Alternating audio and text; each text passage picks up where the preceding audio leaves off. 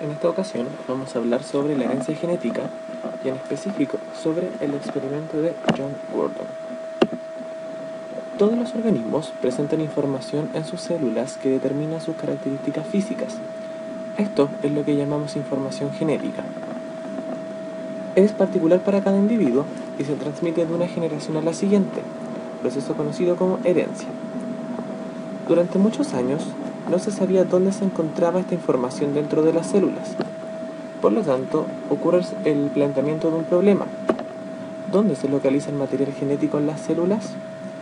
La respuesta parece con John Gurdon en 1960, científico premiado con el Premio Nobel en 2012. ¿Cuál fue el modelo experimental usado por, por John Gurdon? Ocupó la rana africana llamada Xenopus laevis. Se encuentra en la imagen. Esta rana se caracteriza por presentar óvulos muy grandes, por lo cual son muy fáciles de manipular.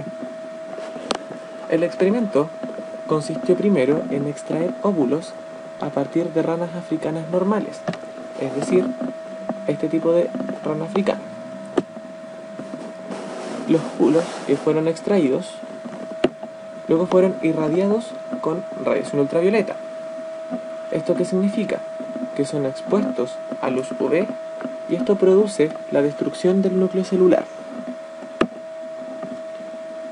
Por lo tanto, se obtuvieron óvulos anucleados.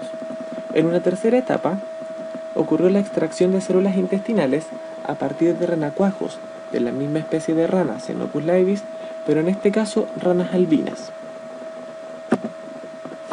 A estas células se les sacó el núcleo y este núcleo fue transferido al óvulo que se encontraba sin núcleo, debido a que la radiación UV lo destruyó.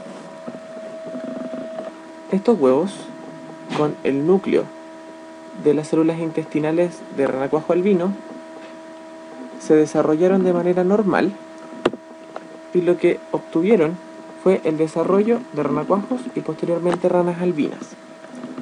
Por lo tanto, este experimento demuestra y concluye que el material genético se encuentra en el núcleo celular, debido a que el núcleo porta la información genética, desde en este caso el renacuajo albino, para el desarrollo de un nuevo organismo, en este caso la rana albina, en un huevo que primeramente era de una rana con pigmentación normal.